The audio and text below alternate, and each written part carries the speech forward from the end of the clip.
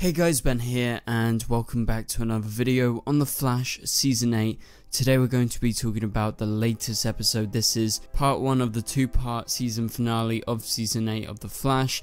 This episode is titled Negative Book 1 or Negative Part 1 and I love this episode and I'm sure you guys did. So much went down, we have so much to break down, so please be sure to go nowhere so if you do go on to enjoy the video, please be sure to leave a like and a comment and subscribe if you're new so you don't miss any future DCTV videos later this year.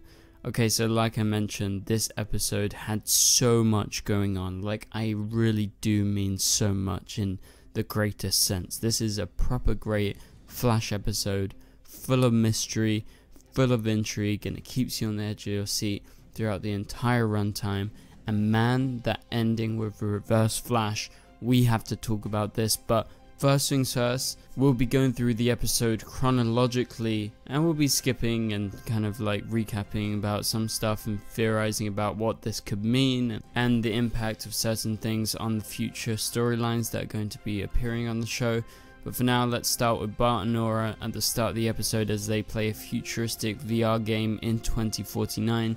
So we meet them again. It's nice to see Bart and Nora back, even though they don't play like a huge part in this episode. But they are interrupted by a call by their mum, future Iris. However, as she's in this phone call, the literal hologram disappears and Iris disappears too, and then out of nowhere, present Iris appears she has been placed there supposedly by Deon and by the Still Force, and so she just like randomly popped up in 2049.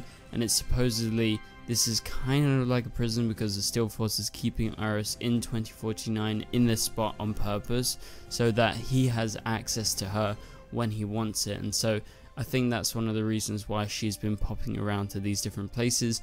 But they actually go on to figure out, with the help of Joan, that Iris was infected by a negative tachyon, and this is thanks to negative Deon, who used normal Deon to get to Iris and basically have this sacrifice and have this kind of leverage without revealing his full deal. Because remember, normal Deon, he's been put out of action at least for a little bit, and the Deon that we're seeing and we've seen recently has been negative Deon. He is a corrupted version of the Still Force. But yeah, so that's what happens at the start of the episode. Then Meena in the next scene gets a flash suit. It's black and it's very cool. I think it looks very nice. Not so sure about the cowl, however, I think later in some other shots it looks much better. Also the running, eh, but you know, they're not always the best at the running scenes, especially when they're standing still on the treadmill. It's very hard to do to make it look believable. But anyway, so Barry is training Meena. She goes crazy because she can't get to Mach 2, and Thawne, the good Thawne, questions her why is she pushing herself so fast and why is she like doing all of this in the first place. And she reveals basically that she didn't want this in the first place. She wanted to basically use meta powers for the good of other people. And this was actually Thawne's dream to become a speedster, to be able to help people just like the Flash. But anyway, so Meena goes outside, she runs off to another place like a back alley in Central City, and she's freaking out by some bins. There's a couple like weird jump cuts here at the start of the scene where the lighting changes. I guess, you know, they just filmed it at different times and the lighting was different. But it just made for a little bit of a weird transition in my opinion. That's just like a tiny nitpick about the filmmaking in this episode. But Barry shows up and they talk and Barry actually reveals himself to Meena and he gets through to her. And this is mainly by telling her that he is a normal person by revealing his identity, that he works as a badge and he works for the cops and that is just like any other job that someone could get in the city and so it just proves that Barry is a great hero and it's not just about who he is in his personal life you don't have to be this absolute greatest person to be a hero. It's just what you gotta strive for, I guess. But what a moment. I love that scene. Best reveal of Barry's identity in a long while. It felt totally natural and was not forced. That is a big problem with Barry's reveals recently of his identity because he goes around willy nilly revealing his identity and it hasn't felt like it was done on purpose for a while. Like they just kind of thought of it like, oh yeah, this would be a cool twist if we told this person and this person and this person about Barry's identity, but there is never any kind of big consequences. But here you have the motivation of Meena seeing Barry's face, seeing who he actually is. It inspires her. But then shortly after this, Negative Deon comes and he actually goes to Lian Yu and he kills Armageddon Reverse Flash, who's been locked up all this time. We've seen him in the past two episodes.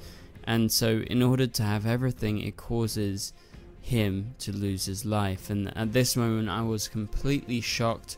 I thought this offer would be something completely different. This was not expected at all. And so, the Reverse Flash is dead, or so it seems. And so, Barry finds Reverse Flash's body in Lian Yu after Chester gets a spike on one of the Star Labs satellites that Deon was there and so the main question is why did Deon kill him? What's his true plan? And why did he talk all of this big stuff about him becoming everything that he's ever wanted?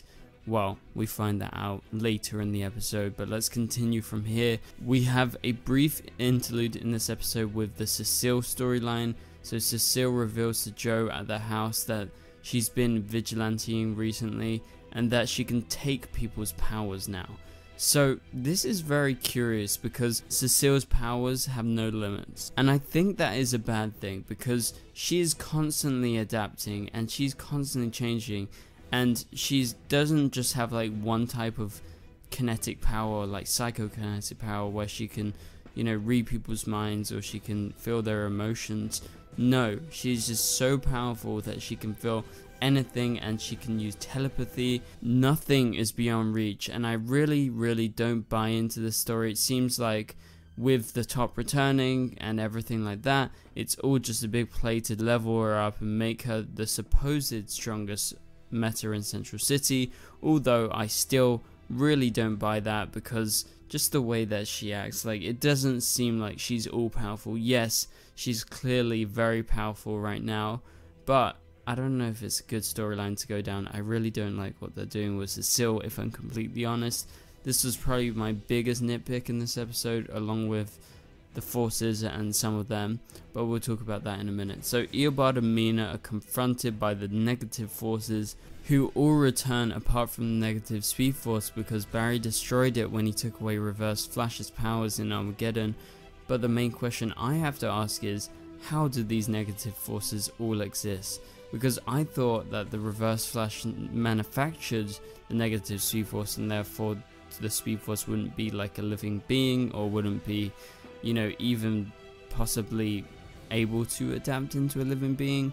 However, it seems like this is true and same for all the reverse of the normal forces and so I don't think this actually makes much sense if I'm looking at it just from the fact that, you know, negative speed force was something supposed to be man-made. And it's clear that it was man-made because that's what we saw in the last episode. But then I guess you could argue it does have a mind of its own. And I do have to say the return of Bashir and the other force wasn't like the best return because I feel like they are still really cringe and the main thought that went through my mind was, oh, so we're doing the Forces again, are we? Because, you know, everyone hated the Forces storyline. I have to admit, this was much better because this was cram packed into a great episode. There was so much going on that we didn't have all the time to just focus on them. However, they did play a substantial part in the episode, and so yeah, I'm just not a big fan. I think they're a bit cringy. They say some cringy lines. I don't really like the way that they're written. But luckily, Barry comes to the rescue as Meena and Eobard are confronted by the negative forces, and he is just about powerful enough to save Eobard from being killed and also them attacking Meena, and he's able to do that all while being stuck in time by the Still Force, and that just proves how much Barry has leveled up. And so Barry's speed after this, after they've disappeared, is completely drained. And then out of nowhere, just before they leave, the forces that is, they say, You are not the Avatar, just you being here makes us weak. This line is an obvious reference to what is going on, and the fact that they want to either destroy all of the rest of the forces, or specifically the last negative speed force, or they want to rebuild the negative speed force. And that's where Iris and the good version of Thawne comes in, as well as Eobard Thawne from Lian Yu. But just the fact that they say you're not the Avatar, I got so confused. I was like, what show am I watching? Am I watching The Last Airbender or The Legend of Korra? That is just a reference to you Avatar fans. Also, if you want to see Avatar videos from new films that they're releasing, as well as the new TV show that's coming, please be sure to let me know in the comments below. Just a random thing that I wanted to bring up because I'm a huge Avatar fan. But anyway, talking of speedsters in general, because you know we got Meena who is a new speedster. Well, from 2049, Nora returns to the present day. She's able to briefly help out, basically explain what's going on with Iris and tell Barry that Iris is still alive and she's in 2049 but she's currently trapped so that's why she's time traveled back in time and she's here. But meanwhile, Caitlin gets on with her experiment with Mark. She goes into the pod, she could reactivate potentially Frost inside her own mind, and Mark is helping all while doing this. And do I think this is actually going to happen? I think it is, to be honest. Like, I don't see them stopping it. Like, they've teased it too much as of right now. That I feel we're going to see Frost in some way, even if it's not in a physical form for a while. But that's something on Caitlin's to do list. But first, to get her back inside her mind. Okay, so back with the main storyline, Barry comes up with a way to stop the negative forces, and it's basically that Meena is going to share her powers and turn Thawne into a speedster, basically splitting their powers in half, which is very, very cool. But their connection stops Thawne from actually being overtaken by the negative speed force. Because knowing Thawne, he's obviously going to have tendencies that his past versions of himself had, even if he's not aware of it. But that connection that he has to Meena is so strong that it beats everything else. And so they don't really have to worry much about being overtaken until the very end because that was completely out of nowhere. But meanwhile, Allegra, Cecile, and Chester hold off the forces who are incoming on the rest of the team. And so Barry, Meena, and the good Reverse Flash, played by Matt Letscher, show up in time to fight them. Barry's able to build up a huge surge of lightning after the help of his two teammates, only for it to not hit the forces. But Deon teleports Iris from 2049 to the present, right in that very spot where the lightning is heading towards, and it does in fact hit her, and it hits her with full force. It lasts for a long time. Iris knocks over. Is she dead? Is she alive? Who knows? We're gonna have to wait for the season 8 finale coming next week. I really love that ending. I think it's a great cliffhanger.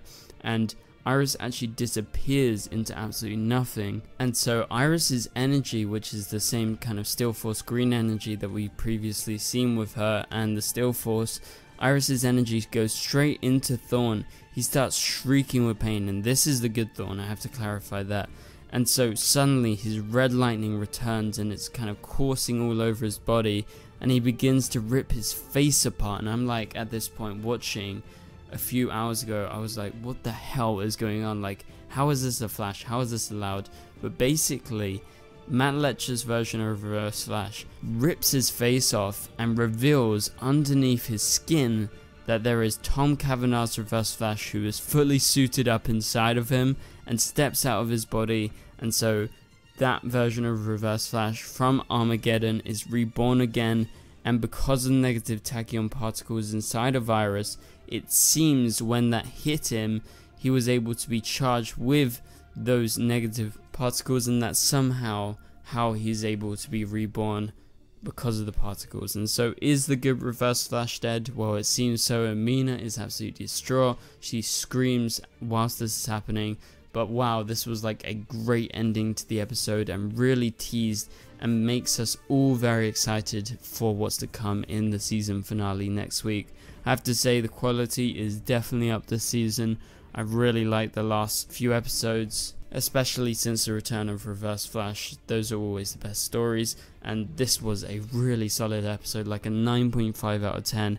I would say my main nitpick is the logic behind Cecile's powers but that's an ongoing thing. And then also the forces returning and them just being a little bit cringy at time with their dialogue. But that is about it for this video guys. If you did enjoy the video, please be sure to leave a like and a comment and subscribe if you're new so you don't miss any future DCTV videos. Also click on the top right corner of the screen to watch my latest video. But for now, I'll catch you guys later. Goodbye.